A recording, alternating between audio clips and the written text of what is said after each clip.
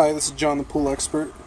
Today I'm going to be installing the Pentair Rainbow Model 300 automatic chlorine offline feeder.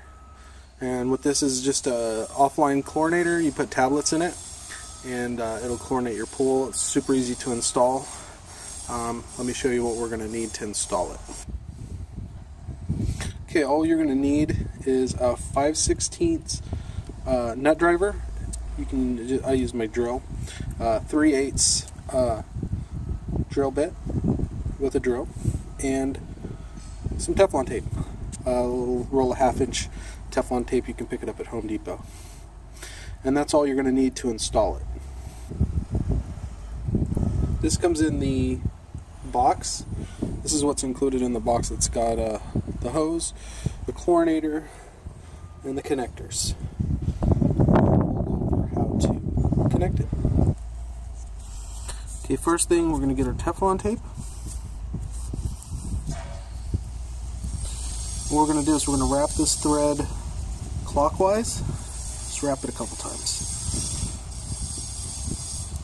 around each each of the connectors. Uh, there's one that goes in the side and one that goes into the bottom. This one is the one that goes into the side. So see it just just threads in.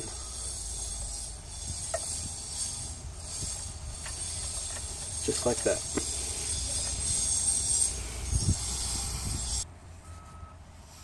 Okay, and same same thing in the bottom. And when you get them in, they should look like this. One in the bottom, one on the side. I usually point them both the same direction. It depends on where uh, your tubes need to go. Okay, now we have to determine where the tubes get attached to the pool equipment. In this particular situation, uh, we want one tube coming from before the filter and one coming after the filter. On a pool spa situation, you will put one before the filter and one after the heater. On here, we'll just have one before the filter, see it says inlet, and then on the outlet side, one after the heater. Okay, now when you find your spot, we're just going to drill a 3 8 hole where, um, where we're going to connect it. There's our hole.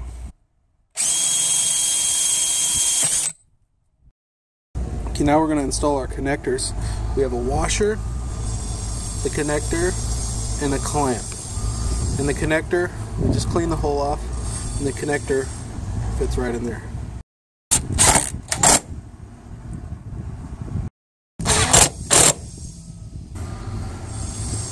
Okay, then you insert your tubes. It's got a nut.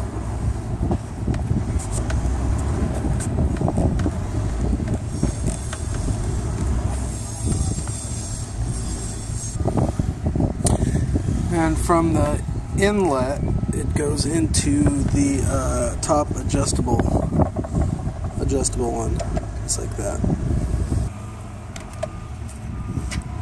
Alright, the last thing is we need to hook this tube to this connector, tighten up the nut. This is coming out of the filter. And from the pipe that comes out of the filter, we connect it to the bottom.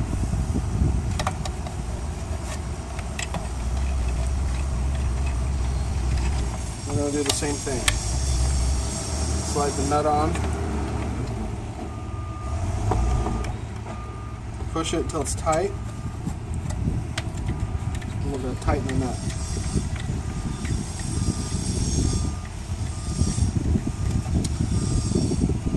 And that is it.